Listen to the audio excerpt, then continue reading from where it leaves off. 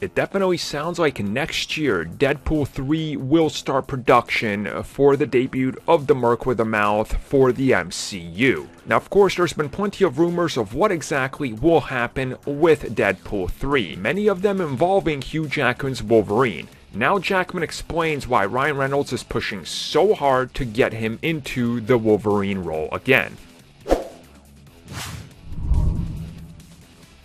Hugh Jackman has been making the news recently plenty of times talking about Wolverine. Specifically, the post that broke the internet, the rumors that are always out there, him constantly saying he's done as Wolverine, people bringing up the fact that he said that literally like half a dozen times and he always comes back, and so forth and so forth.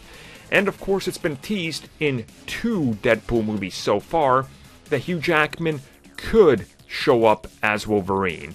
We know that Hugh Jackman is really good friends with Ryan Reynolds, and he recently revealed that when it comes down to returning as Wolverine, he's told everybody he's done. He's even told Ryan Reynolds. But it's Ryan who keeps on pushing, who keeps on trying to add him to Deadpool 3, who keeps on trying to make it a reality. And he says that no matter what he says, that Ryan Reynolds does not believe him that he's done with the role and he keeps trying to convince him to join the project. Now, of course, when it comes to the original version of Deadpool 3, the whole road trip across America, it seems like that they already had figured out that Wolverine would show up in that film. But of course, that was under Fox, so things have naturally changed and contracts have been somewhat nullified or rewritten, or who knows what's next and who knows what the plans are. Again, I think if there is a look, I'm your best friend at this point. Let's make it a reality. Maybe even if it's a small cameo, just to put him in a suit or something, give fans what they want. But realistically, I think at this point, Hugh Jackman really does believe he's done. I think it's, you know, one of those things that's just like, look, guys, he just wants to move on from it. I'm not saying he's never going to do it. I'm just saying I think everybody does truly believe that he's done, including himself. But as I always state, just because you say you're done, it doesn't mean you're done.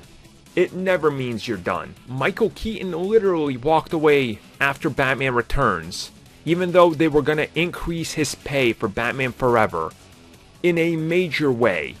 And he was like, no, I'm not doing this ever again unless Tim Burton is back.